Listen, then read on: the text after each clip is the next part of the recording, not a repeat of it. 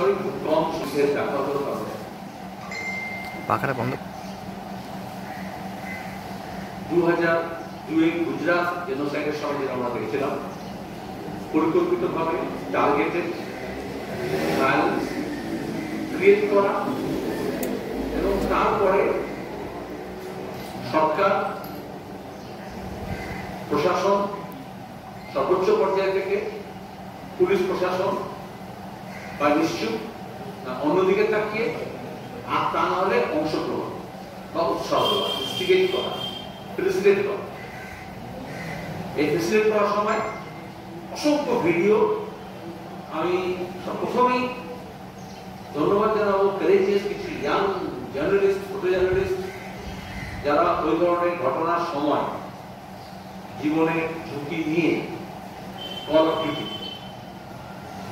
এবং সেখানে যে সত্য সংবাদ সেটাকে সংগ্রহ করেছে। অনেক সময় বিভিন্ন প্রতিষ্ঠিত প্রচার মাধ্যমের নিজস্ব সীমাবদ্ধতা থাকে। তা সত্ত্বেও আজকাল যেহেতু সমাজ মাধ্যম অনেক বেশি গুরুত্বপূর্ণ, সেখান থেকে সত্যটা বাইরে বেরিয়ে আসে। তার একটা পরিকল্পনা ছিল, যেহেতু ওটা বেশিরভাগটা স্লাম এরিয়া ঝুঁকিপট্টি তারপরে এখানে বসতি গড়ে উঠেছে ওয়ার্কিং ক্লাসে ইনফর্মাল যারা সেক্টরে কাজ করে ছোটখাটো ব্যবসা যেমনরা পারে, ওই ধরনের এলাকাগুলোতে মাইগ্রেন্ট ডেভেলপার্সরা গিয়ে বসতি কোথাও শুরু করে। এখন অবশ্য রিয়েল এস্টেটের অনেক দাম হয়েছে সুতরাং দাঙ্গা হাঙ্গামা করে আগুন দিয়ে পুড়িয়ে দেওয়া তারপরে হচ্ছে সেখানে উৎখাত করা, এগুলো খুব সহজ হয়ে যায় এস্টেট ইন্টারেস্টেড আর এখানে তো দেখা গেল সান পরিবার বিজেপি নেতৃত্ব, আগে বলতো ফ্রিঞ্জ এলিমেন্ট খোলাখুলি হিংসার জন্য শুধু প্ররোচনা দেওয়া নয়, হিংসার নেতৃত্ব দিয়েছে।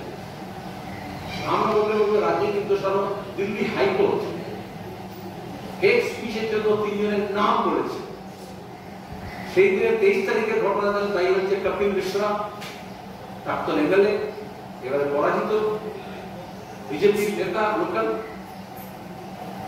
তার সঙ্গে হচ্ছে বিজেপি এমপি, আগে দিল্লি নির্বাচনের সময় প্রবেশ শর্মা সাহেব সিংয়ের সন্তান এবং অনুরাগ ঠাকুর।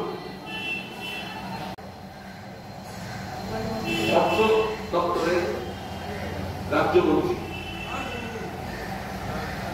এটা দিল্লি হাইকোর্ট তিনজনের নামে বলে বলেছে কেন দিল্লি পুলিশ তাদের নামে হেড স্পিচের জন্য জন্য ঘৃণা ছড়ানোর জন্য কেন এফআইআর করবে না? সলিসিটর জেনারেল এসজি করছেন কোর্টে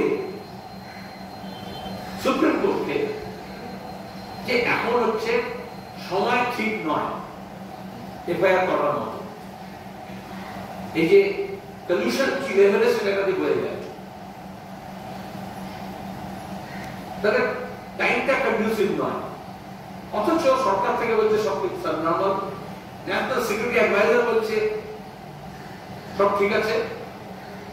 নিয়ন্ত্রণে পুলিশ বলছে দিল্লি পুলিশ বলছে, অথচ ক্রাইমের এগেনস্টে এফআইআর করা যাবে আগে পুলিশ বলেছে দিল্লি পুলিশ আমরা জানি না আমাদের কাছে, কিন্তু দিল্লি ডিসিপি কে পাশে রেখে রবিবার ঘটনা যখন সূত্রপাত, সেখানে কপিল মিশ্রা যখন বক্তৃতা করছে, তার পাশে একজন ডিসিপি উপস্থিত স্থানীয় দিল্লি পুলিশের।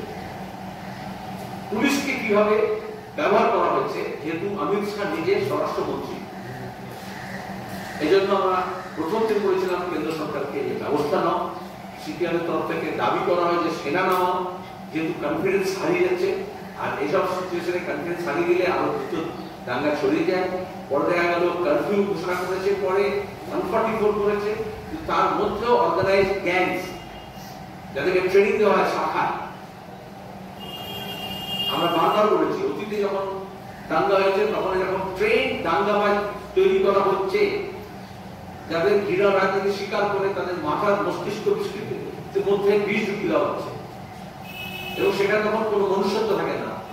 আর সেটাকে ভাষা, ধর্ম এবং পর্যায়ী যে কোনো নামে সেটাকে ব্যবহার করা হয়। এবং দিল্লিতে দেখা গেল স্কুলে আগুন লাগানো হয়েছে, ধর্মস্থানে আগুন লাগানো হয়েছে।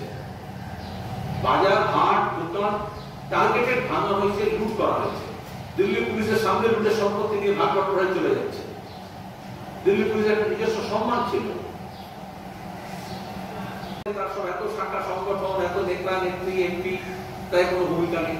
সাধারণত রাজধানীতে এরকম ঘটনা ঘটলে পশ্চিমবঙ্গের সাংসদ শুরু থেকে দেশ স্বাধীন হওয়ার পর থেকে, তারা প্রথমে বাংলা মানুষের প্রতিনিধি হিসেবে সে সমস্ত অকুস্থলে পৌঁছেছেন এবং যারা আক্রান্ত মানুষ তার পাশে গিয়ে দাঁড়িয়েছেন এবং সোচ্চার হয়েছেন অন্যায়ের বিরুদ্ধে। সেখানে দেখা গেল যেহেতু